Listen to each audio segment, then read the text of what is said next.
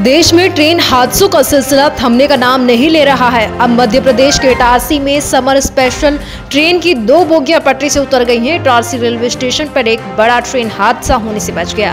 यहाँ एक passenger train के दो कोच पटरी से उतर गए। जानकारी के मुताबिक मसूर से रानी कमलापति की ओर जाने वाली समर स्पेशल ट्रेन प्लेटफॉर्म पर ही पटरी से उतर गई।